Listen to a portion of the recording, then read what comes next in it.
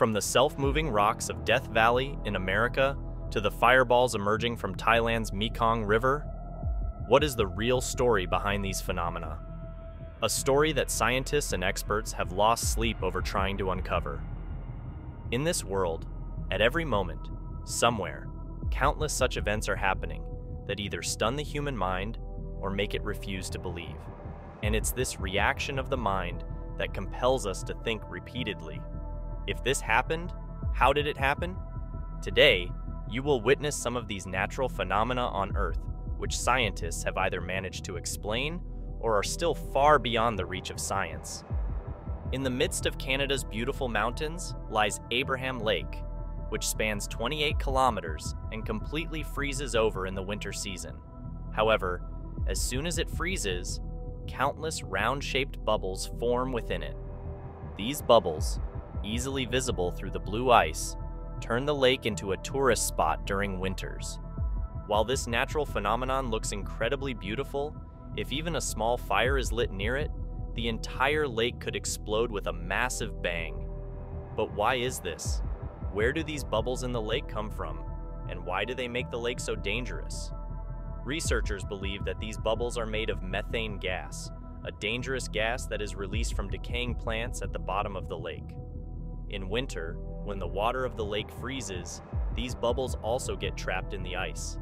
Despite being frozen, these bubbles still contain methane gas, which could ignite if exposed to even a small spark, potentially setting fire to the methane bubbles spread across the entire 28 kilometers of the lake.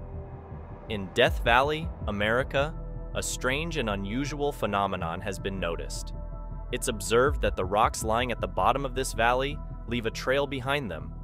It appears as if these stones have been dragged from one place to another. People were further astonished when they found some rocks weighing as much as 300 kilograms. Stones that no person could possibly move also had been dragged. The question then arose how could such heavy stones move on their own on perfectly level ground? If someone had dragged them, then why? And why were there no footprints of those who would have exerted such effort to move them?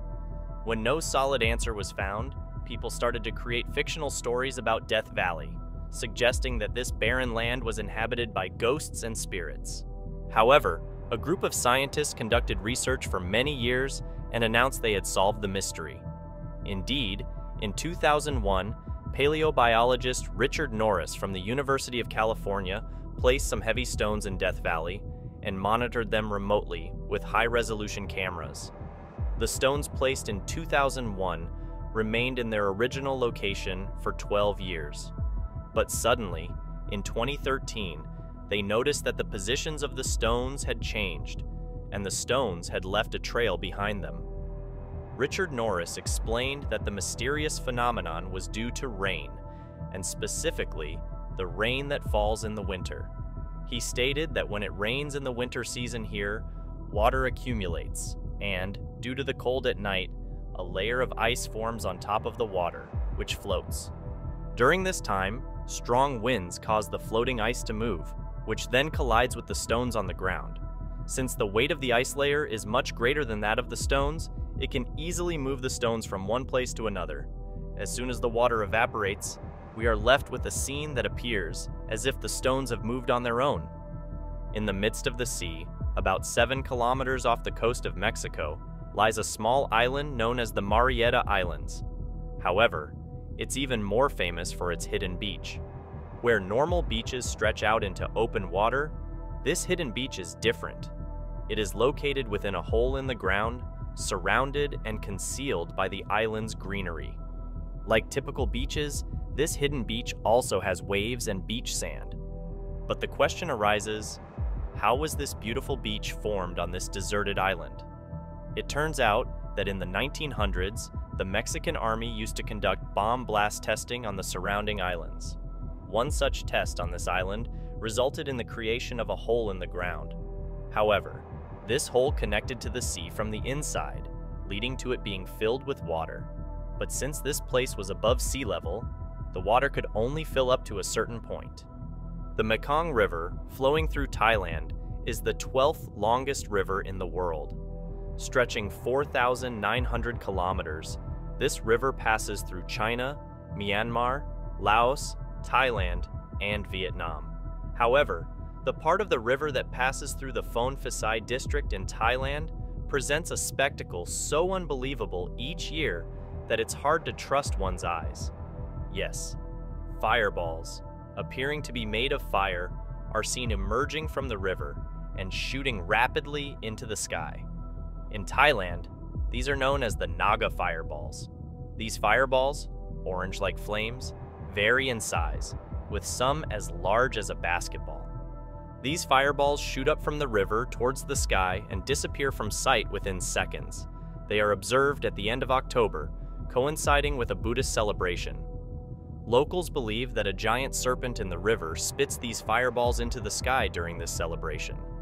However, as usual, science does not agree with this explanation, as these fireballs appear every year without fail. Many scientists have delved into uncovering the secret behind these Naga fireballs.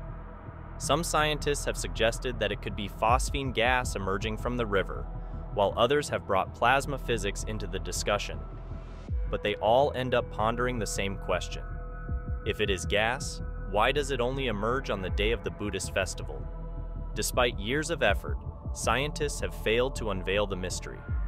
Then, in 2002, a private Thai television channel, ITV, conducted a sting operation. The team discreetly hired a boat and went to the other side of the Mekong River. What they saw was that people on the other side of the river were firing tracer rounds with flare guns. Since one side of the river is Thailand, where the festival noise is loud, and the other side is another country, the TV documentary hypothesized that the noise of the festival made it impossible to hear the sounds of gunshots. However, many people refused to believe the TV channel's documentary. Thus, the mystery of the fireballs emerging from the river remains unsolved to this day.